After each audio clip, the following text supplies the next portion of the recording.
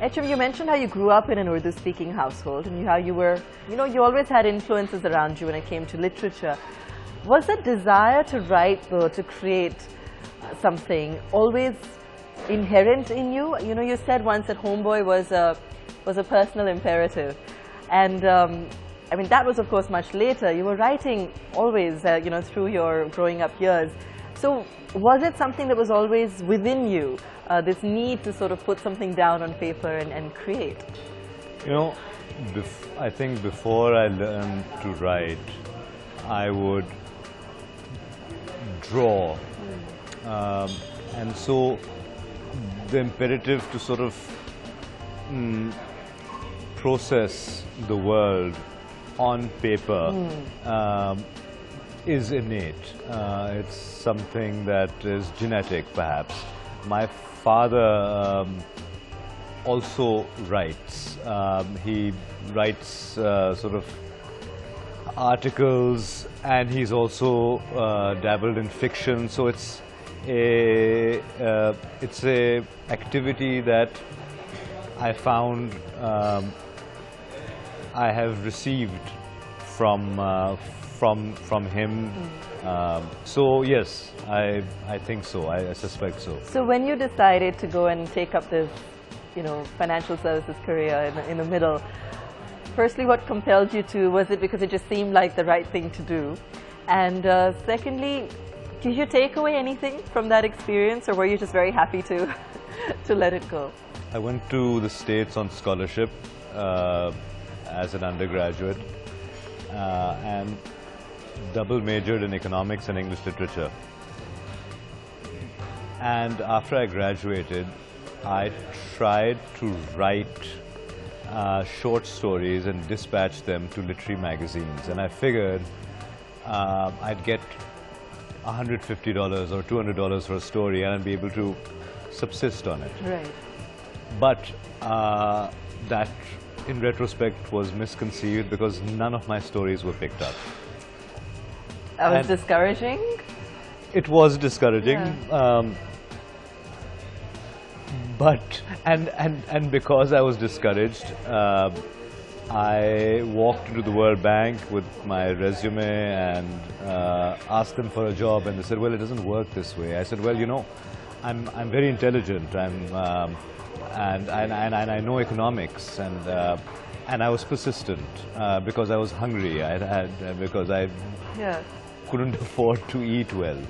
So I, I fell into banking that way. Wow. And I was about, uh, I, I, spent about 10 years in the industry and I think it made a, you know, it, it was good.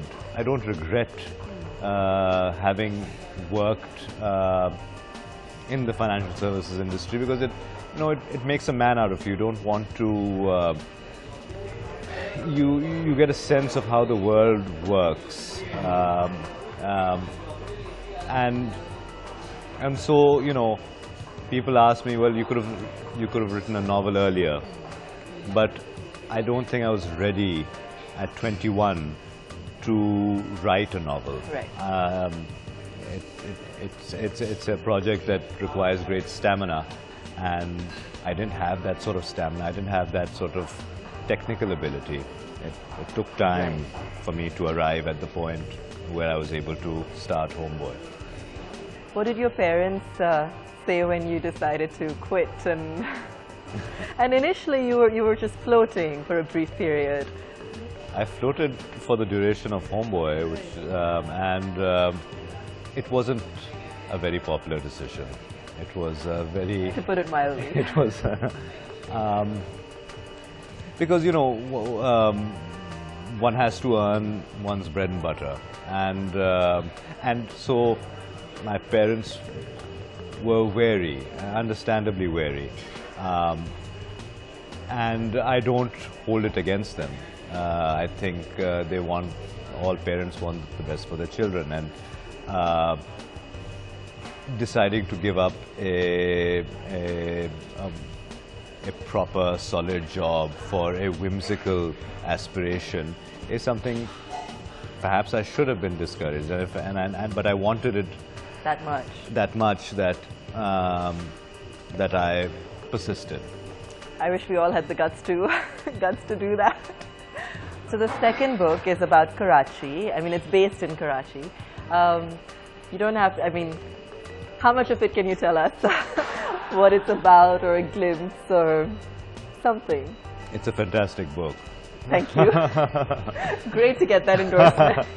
Um, it's it's uh, dramatically different from Homeboy in that uh, Homeboy is a coming-of-age story, a comedy set in New York.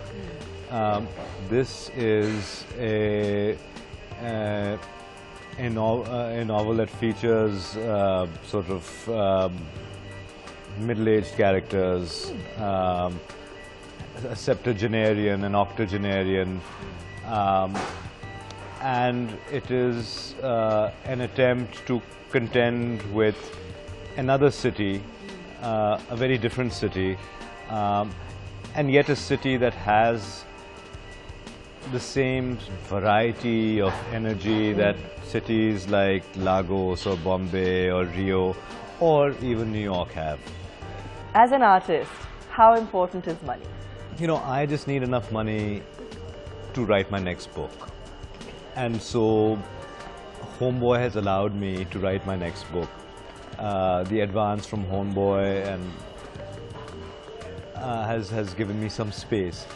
But the way the publishing industry is configured, the way the distribution infrastructure is changing, I don't know uh, what the future holds for me or other novelists. And um, I fear that uh, one will not be able to subsist, uh, subsist writing novels alone. And you want to write about four to five more novels. Uh, I like Hopefully. to. I like to think that. All right, let's take another very quick break here on the date. We've got more coming up uh, with HM Naqvi. Do stay tuned, you don't want to miss this. I ask my vagrant heart, where is there to go now? No one belongs to anyone at this hour. Forget it. No one will receive you at this hour. Let it go. Where can you possibly go now?